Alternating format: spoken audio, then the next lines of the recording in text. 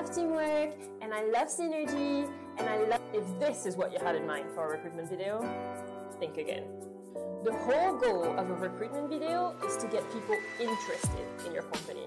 So you're going to want to create engaging videos. Hi, I'm Melissa from PlayPlay, and today we're talking about how to create amazing recruitment video in seven easy steps. Step one, be specific about the goal of your video. Are you creating an employer branding video or promoting a specific job position? RTPs, one goal equals one video. Tip two, highlight your employee value proposition. In other words, what's unique about your company. You've got choices here. Should they join you because you have the coolest products, challenging projects, or an incredible culture? Be precise about it and illustrate your employee value proposition with concrete examples. Tip number three, prepare your script well.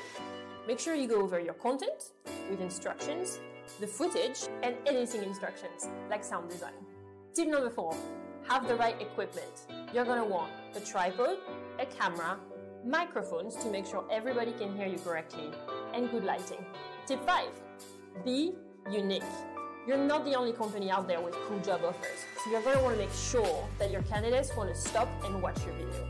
Tip number six, make it short, punchy, and dynamic. How? By changing shots, camera angles, adding transitions, and making sure you have good effects. And tip seven, make sure to have a super clear call to action at the end of your video. You wanna make sure that your candidate knows where to go after they've watched it. And that's it. Now you can go out there and win the talent war.